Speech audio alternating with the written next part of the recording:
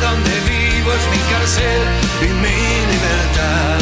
Qué linda música que están pasando, chicos. Dice Marcelo al 44 53 46. Linda mañana. Dice Simón y te hace bowling, denunciala. Bueno, me pasan ahí todo. me no te pasan- hago bowling. Me pasan todo ahí. Este, dice, ¿qué le pasa, Mónica? Que no le gusta el folclore. Bueno, Yo- después, no, vamos, no, no. después vamos a abrir el debate Tengo del folclore. sí. pero lo hacemos después, ¿te parece? Dale, Porque sí, nos por metemos supuesto. con actualidad. Esto pasa en Sunchales. Esto está pasando en Sunchales y la región. Nos metemos con actualidad, 11 de la mañana con 18 minutos. ¿Qué está pasando? ¿Qué pasó, Mónica, en Sunchales entre ayer El y hoy? A ver, esto ¿cuándo dice, mira, fue? el parte oficial, la información oficial dice que en las últimas horas del día miércoles 10 de noviembre se llevó adelante un allanamiento en nuestra ciudad por parte del personal de antinarcóticos de la AIC. El mismo se desarrolló por una investigación que está eh, que esta unidad llevó adelante en la dirección de la Fiscalía Federal a cargo Gustavo Onel. El conocimiento y la intervención del juzgado federal a cargo del doctor Cuello Murúa se incauta material, estupefacientes, de en realidad cannabis, marihuana, como la conocemos todos, cocaína, balanza, más de 30 mil pesos, anotaciones que son de interés, teléfonos celulares y se da la detención de una femenina. ¿sí? Esta es la información que nos, llevaba- nos llegaba de manera oficial, el parte de prensa que nos llega. Mm, Yo para ampliar esta información, para saber cómo se llegó a este resultado, cómo se vino trabajando, estoy en contacto directamente con, eh, con Daniel Gómez, quien es el jefe de antinarcóticos. Esto es así, Daniel, buen día. Hola, buenos días, Mónica. A ti, a toda la audiencia y a todo el programa, saludos. Daniel, yo lo escucho bajito, Gustavo, si me podés si levantar te un pones poquitito. los auriculares lo vas a escuchar mejor. ¿eh? Eh, salió todo perfecto. ah, me retaste, me retaste. perfecto. Así no vale. Ya me retaron, Daniel. Escucha que te digo. Eh, bueno, trabajaron ayer, trabajaron hasta altas horas de la noche. Lo charlábamos recién cuando yo te llamaba por teléfono. No quise molestarte más temprano, pero es la actualidad, es lo que nos mueve a nosotros hoy en la noticia del día, es esto. ¿Me contás qué es lo que sucedió? ¿Cómo llegaron a este operativo? ¿Cuántas veces eh, tuvieron que, investigar? ¿Cómo, a, a quiénes? Eh, ¿Cómo se denuncia esto? Tengo tantas dudas, Daniel, al respecto. Bueno, esta, esta investigación en cuestión se inicia por pedido de la Fiscalía Federal de Rafaela, acá del doctor Gustavo Nel, Ujú. y se desarrollaron tareas de inteligencia en, en el lugar a- aproximadamente por cuatro meses, Eh, y llegando al resultado de, de la noche. Ujú. a última hora de la noche, como hoy bien lo dijiste hoy al principio, se logró el allanamiento de la morada esa en el barrio sur de la localidad de Chunchales. Eh, y se produjo el secuestro de estupefaciente y muchos elementos de interés a la causa. Eh, lo destacable es que se, se produjo el secuestro de estupefaciente de cannabis, de, o sea, de marihuana y de cocaína, todo fraccionado. Era un punto de venta en, en la localidad. Y se produjo la detención también de una femenina. En este momento está prestando declaración indagatoria en el juzgado.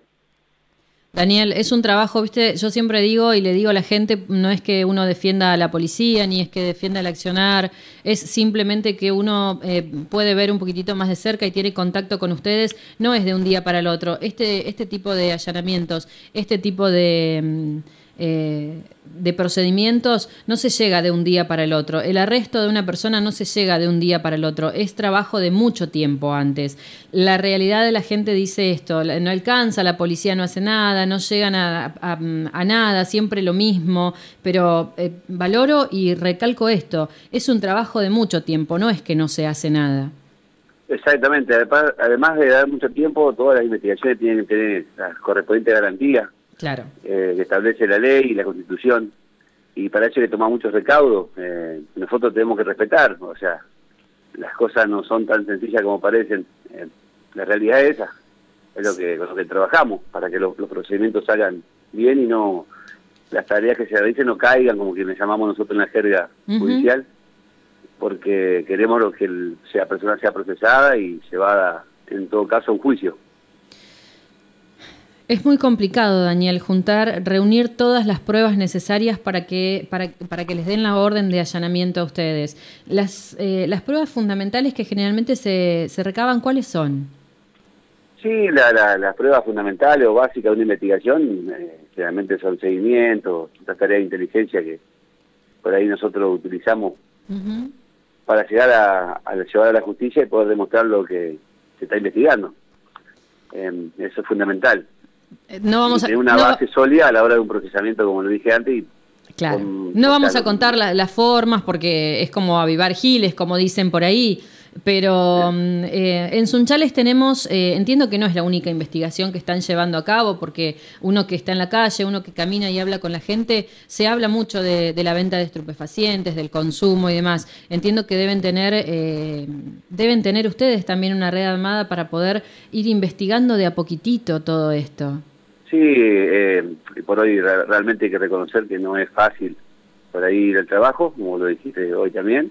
Eh, sí queremos nosotros acercarnos siempre a la gente, eh, porque la gente es la que también nos ayuda un poco, nos aporta mucha información.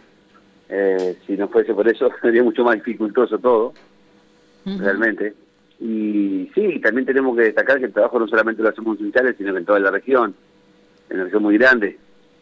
Eh, y comprende desde Gato Colorado hasta la localidad del Trébol, en el departamento de San Martín. Y después tenemos límite con Córdoba, todo lo que es el límite con la ciudad de Santa Fe, zona, zona centro. O sea que son grandes, grandes territorios, muchas extensiones y muchas fronteras tenemos. La verdad que tenemos mucha actividad. Estamos permanentemente trabajando. Sin duda. Daniel, tenemos una red muy grande en la provincia de lo que es eh, la venta de drogas. Sí, Santa Fe se caracteriza ¿no? por, por tener muchos problemas con respecto a lo que es estupefaciente. Eh, en la región nuestra, si bien hay muchos problemas, en- sobre todo en la zona oeste, la zona frontera, que hay mucho índice de violencia, eso, que se ve por ahí Ujú. reflejado mucho en las noticias, ¿no? Eh, dentro de todo lo que es la, la localidad de Sunchal y Rafael, tengo que destacar que la comunidad también es una comunidad más tranquila que en otros lugares Ujú. creo que tiene mucho que ver la- la- el trabajo y todo lo demás para que esto ocurra. Claro, hay muchos factores sociales que ayudan, pero así Sí. como el factor social en la tranquilidad económica de las personas ayuda a, a, a la educación, a la formación, también me parece que ayuda al consumo de alguna manera, ¿no? Seguro, así aparte, generalmente como lo dije una vez, una ocasión, creo que el consumo del, de los sectores más humildes a veces que más se refleja, ¿no? Ujú. Pero en realidad se consume en todos los sectores sociales, eh, es una Claro, realidad. en el sector humilde uno lo puede ver y, y es palpable, es, uno, uno cruza a la persona en la calle y, y se da cuenta, o por el entorno, eh, es mucho más visible, pero sin duda, cuando hablamos de otras clases sociales, si lo queremos definir así, eh, nos cuesta más verlo y nos cuesta más asumirlo, me parece. Exactamente, tal cual. Uno estigmatiza, digamos. Claro, eso por ahí, uno, es otra cuestión, pero sí, eh, es realmente creo que es así. Daniel. Eh, como es bueno, y creo que con esto eh, se llevará ahora la, la investigación de la justicia para que siga con su trabajo, para adelante con, el- con la causa. Gustavo. Sí, Daniel, buen día. Gustavo Estrubia te saluda. Simplemente te- en lo último que, que te quiero preguntar es, bueno, que, mm, en ¿cómo queda esto, no? Ahora, porque ustedes secuestran dinero en importante cantidad, secuestraron marihuana, cocaína, la balanza, ¿eso qué queda? ¿En resguardo en dónde? ¿En el juzgado? ¿Sabés por qué? Porque para, mm, de alguna manera, desmitificar eso que viste que hay que la gente dice, no, pero eso después vuelve al mercado, ¿viste? E, Eso queda este, el- bajo el resguardo del juzgado, ¿verdad? Sí, todos la- los secuestros quedan resguardados bajo el juzgado, o sea, salvo que haya una circunstancia, como por ejemplo, en un caso en serie que se secuestraron 900 kilos de hoja de coca, que tuvimos que guardarlo nosotros porque en el juzgado no había lugar para esa cantidad. Pero ya un caso, de un, sacan son casi una tonelada de hoja de coca, o sea que es una Claro. locura. Pero en, en- en este caso queda se entrega al juzgado todo el secuestro y todos los elementos que se incautaron en el procedimiento. Daniel, y te hago otra consulta ya que estamos también, porque a veces decís, sí, pero es, es coca, es un camión que transportaba coca. Bueno, con, Sí. con ¿esa es, es, este, las materias primas para después eh, la cocaína o, o para qué se utiliza la, la hoja de coca? Sí, eh, hoy por hoy la venta de hoja de coca en el mercado eh, tiene un valor bastante importante. Eh, al- o sea, se venden bolsitas de pequeño, de pequeño tamaño y eso lo está costando alrededor de 5 mil pesos cada bolsita. Y cada bolsita pesa medio kilo, así que tiene un valor importante pues no tiene no tiene documentación, es, un negocio ilegal, ¿sí? No está regulado. Eh, y las, las grandes cantidades, no si bien no está, no está penado el, la pequeña cantidad de hoja de coca, sí grandes cantidades sí porque se puede presumir que es para eso, ¿no? Para la fabricación de cocaína. Daniel, Eh, sí. eh, yo no quiero ni imaginarme la cantidad de cosas con las que te encontrás en las rutas, en las ciudades, eh, pero preguntarte si, eh, si en nuestra zona son siempre los mismos que están en el mismo mercado. Y sí, la pregunta es interesante, porque la verdad que yo creo que el más del 90% de las personas que alguna vez vendieron estupefacientes lo vuelven a hacer. Eh, es una pregunta también un poco ¿Así? de lo sociológico que no, no se Sí, podría sí. explicar, ¿no? ¿Por, por qué? ¿Por qué vuelve siempre al mismo lugar? ¿Por qué, ¿Por qué volvemos? Nosotros tuvimos una conversación hace un tiempo y coincidíamos en esto de que es una cuestión eh, social, de que esto hay que trabajarlo desde otros lados, desde el principio, desde cuando son chiquititas las personas.